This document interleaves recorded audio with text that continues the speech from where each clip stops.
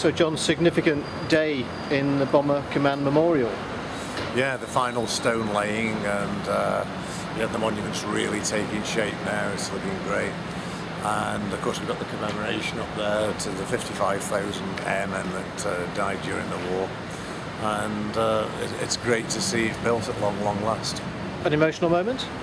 Yeah, quite, it's quite emotional. It's emotional when you think of uh, all the people that died and all the families of those people. You know, when, when you think of the heartache and the tragedy that was associated to uh, that scale of death, know, it's uh, it's a bit mind blowing, really. And um, you know, each one of those airmen had got hundred friend, hundreds of friends and family that would have been traumatised by the death. And s- to have them, them to have them now at last commemorated, I think it's a big thing and a very, very important thing for Britain.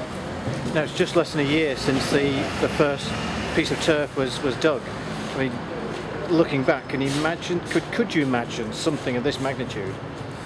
Yeah, I could because that's exactly what I expected it to be.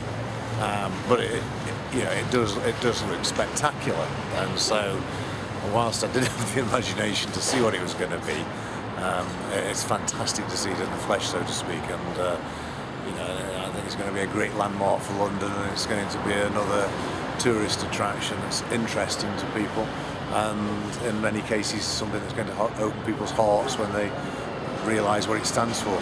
And we've got the dedication to come, which is going to be quite a day. Yes, June, and uh, yeah, it's going to be a massive day. Um, they were just tell, telling me that the, the that uh, parts of London, parts of the streets are going to be shut down.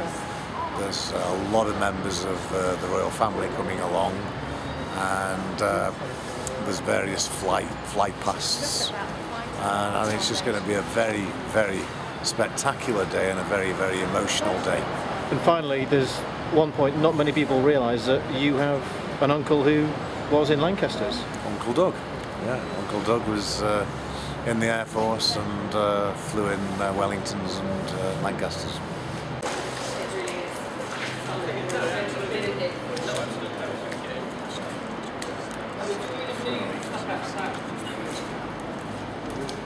Yeah,